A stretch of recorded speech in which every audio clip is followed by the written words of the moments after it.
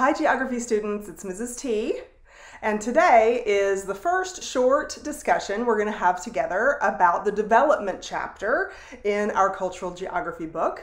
Uh, it's got a different number with it depending on what edition of the textbook you're using.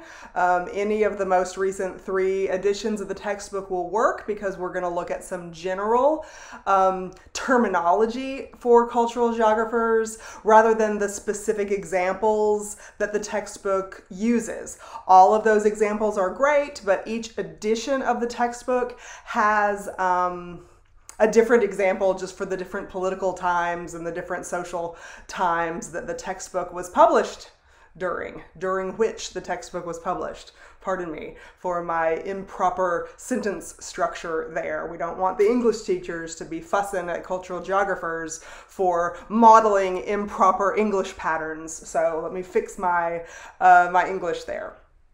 Okay, so in this unit in, uh, of development, it's a really, really interesting unit, but I have to say that I have a little bit of personal internal struggle with the development topics, industrialization topics, urbanization, that kind of thing, with cultural geography, simply because um, development is such a key component, a key factor in determining wealth and style of life for people within a nation in the world. And it sort of um, disregards traditional forms of economic participation in the economy, such as horticulture or uh, subsistence agriculture and that kind of thing that we learned about way early in this semester. So, um, so this development chapter has a lot of capitalism, industrialization good, capitalism, industrialization bad kind of back and forth banter about um, the way we rank nations in comparison to each other around the world. So, global stratification is the overarching theme for um, this particular discussion on development and industrialization in uh, cultural geography. So, stratification is our word that immediately should make you think of inequality as the topic. Stratification is something that we can use when we're talking about race, ethnicity, sex, gender, cultural identity within the landscape on a micro scale, but also stratification is a term that's used on the global scale when comparing countries of the world to each other. And that's a major thing that we are going to focus on when we discuss development in, um, in cultural geography class. So, global stratification is ranking or the degree the degree, pardon me, of inequality between or among the nations of the world. So you've probably heard of the first world, second world, third world approach to categorizing nations in comparison to each other. That has to do with the degree of development. There's another one, two, three ranking that we also hear very often in news media and history books and economics books, and it's the levels of development approach to global stratification, where literally you use the word developed like past tense, industrialization happened, it's full force, developing, which means present tense and ongoing. Industrialization is occurring, but it's not as mature as it could be, and therefore its progress is still being made. And underdeveloped nations. So that's where industrialization has either not taken place or it only has occurred in the private sector, or there's a lot of perhaps corruption in the government that prevents the people within a nation from actually enjoying the fruits of industry, the fruits that industry can provide to the people of nations when people of goodwill are running the corporations, running the government, and that kind of thing. But it's um, there's there's my uh, part of my pet peeve about this is um, some of the potential for development, some of the potential of industrialization throughout the world um, is tapped only by those who wish to keep it for themselves rather than spreading the uh, benefits I'm not saying wealth, but spreading the benefits of um, industrialization and development to all of the citizens of a country that you are using to boost yourself. So, and I say yourself because um, typically we use particular um, classifications to measure development within a nation and among nations of the world. Those uh, words are um, listed in the first couple of pages of your development chapter. I'm referring to concepts called gross national product, gross domestic product, gross national income.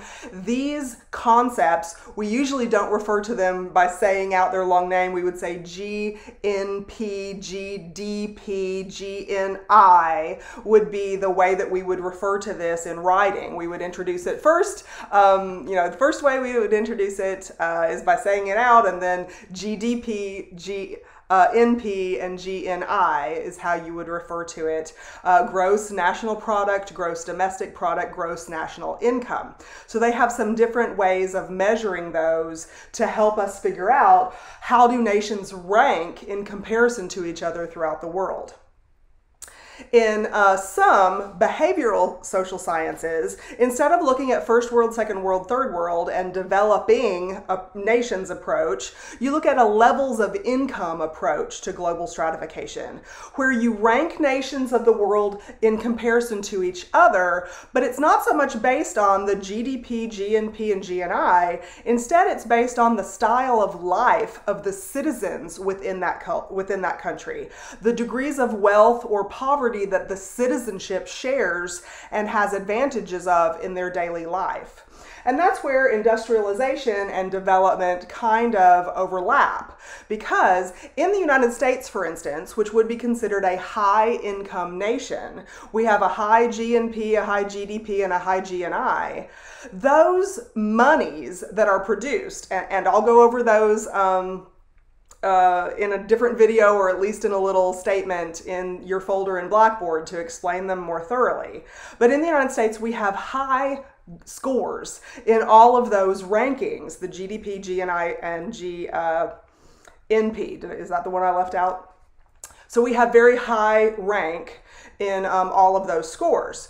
And that's because of our degree of industrialization, but it is also our degree, it's, it's also because of the degree to which we reinvest that income from industrialization into the infrastructure that we have. The sewer systems, the road systems, the airports, the transportation systems, telecommunications, satellites, these kinds of things that boost our style of life, our standard of living within our nation. We have cell towers, we have landlines, we have electrical cables, we have satellite internet, we have all of these kinds of things available to us for a price. However, even if you do not purchase uh, satellite internet, for instance, like I have to out in my rural location, I can travel from my home to a place that provides it, such as the central library system or even McDonald's, and use Wi Fi that is provided.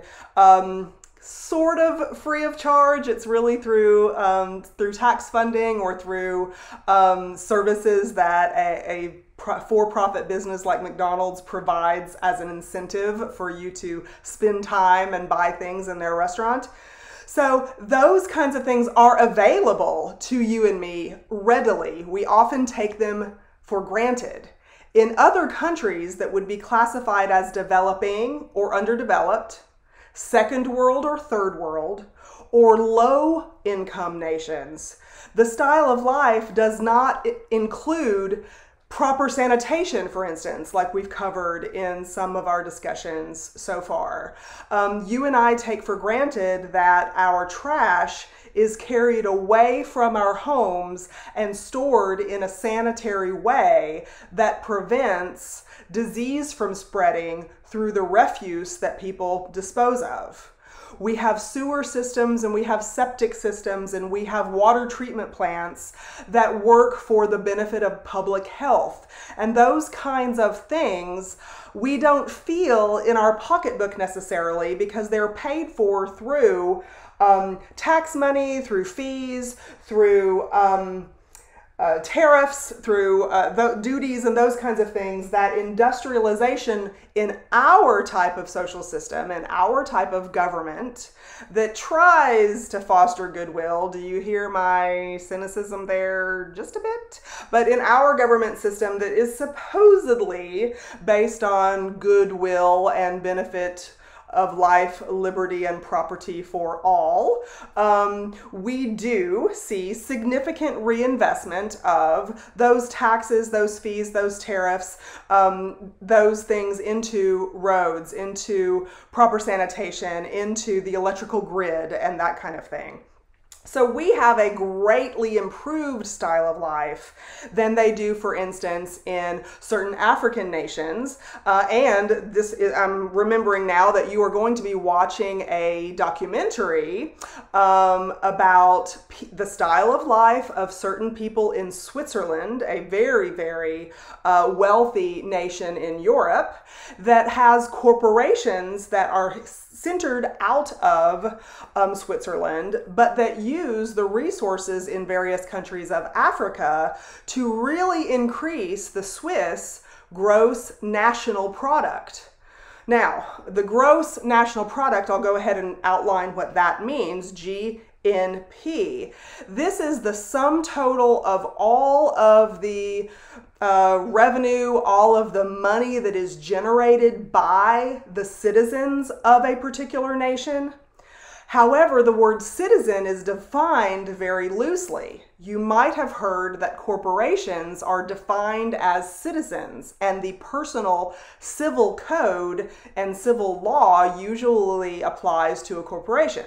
So, if a corporation has its headquarters in a nation, in a town, that corporation is technically measured as a person. And so, whatever profit that, that corporation makes is considered part of the income that people in that town make. It's used in the average of what is the average income of um, that particular nation uh, for the people who uh, reside in it. So that it's factored in there. So in gross national product, if you have a company that is headquartered in Switzerland, but the profit that you are generating through that corporation depends greatly on a variety of countries in Africa or the Middle East or South America or wherever your industry is focused. The money that's generated does not go toward the gross national product of Zambia, for instance. It goes toward the gross national product of the country where the, the corporation is headquartered. So there are some problems, in other words, with this levels of development. Um, measurement because uh, sometimes the, in, the degree of industrialization in a place, if you are mining copper, for instance, or rare earth minerals in China, for instance, you need a high level of industrialized machinery, trained workers to operate that machinery, processes to refine elements out of what you have, uh, out of the ore that you have collected from the earth, if that's the kind of mining mining that you're involved in. So you need a high level of industrialization, and it might be located in Western Sahara in Africa, um, just to use a random example. But that industrialized process, that, that degree of industrialization does not count for Western Sahara in Africa if that money does not stay within the borders, if the money goes on the balance sheet of a company outside those borders. So um, I will stop the video right now because I want to make sure that all of these are very um, short and I will regroup and uh, give you some more information in just a second. And this is the first installment of our discussion about development. It's all about social inequality on the global scale and industrialization. So we're combining really the development and industrialization chapters at the same time. So I will see you again very soon. Bye.